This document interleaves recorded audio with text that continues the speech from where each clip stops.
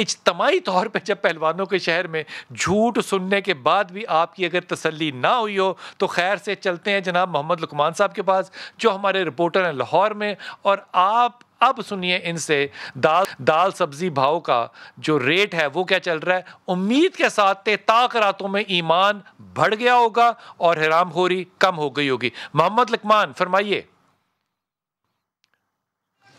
जी, बिल्कुल इस वक्त मैं एक फ्रूट मंडी में मौजूद हूँ, जहाँ पे रेट जो है तकरीबन वही चल रहे हैं, जो पहले से, बल्कि सम टाइम अब चूँकि आज आखिरी रोज़ है जुमे का तो उसमें भी एक लोगों में रुझान ज़्यादा है, लोग ज़्यादा आ रहे हैं, और लेकिन मसला सबसे बड़ा है, कीमतें तो शायद सरकार की हैं, लेकिन जो क्वालिटी नहीं है, जो अगर सही वाली क्वालिटी की चीज़ खरीदना चाहें तो वो यहाँ नहीं खरीद सकते खरीद सकते। जैसे सेब है डेढ़ सौ रुपये इसकी कीमत है। लेकिन डेढ़ सौ रुपये वाला सेब यहाँ मौजूद नहीं है।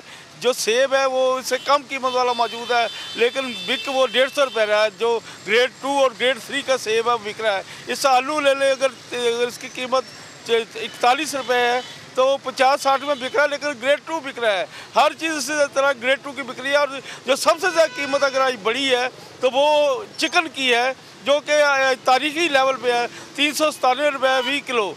लेकिन तीन सौ सतानवे जो है, वो कोई साफ़ सुथरा नहीं मिलेगा। अगर आप शहर के जो पॉश एरिया हैं अपस्केल एरिया हैं, उनमें चल जाए तो साढ़े चार सौ रुपये किलो से कम चिकन नहीं मिल रहा। गोया के जो एक स्वाब कमाने का मौका मिला है ताजरों को। वो यकीन स्वाब नहीं कमा रहे वो पैसा ही कमा रहे हैं। उनके जेहन में यही है कि ये पैसा मिल जाए चाहे उसके बदले में कुछ है। इसी तरह अगर कुकिंग ऑयल है लुकमान आपका बहुत शुक्रिया। ये जो लुकमान है शरीफ आदमी ज़ाहिर है सारे शरीफ लोग हैं। ये लुकमान ये लुकमान साहब कह रहे हैं कि ग्रेड टू के और ग्रेड ये ग्रेड टू नहीं है इसके लिए सही लफ्ज़ है जी। दो नंबर चीज़ जो है वो इतने की है।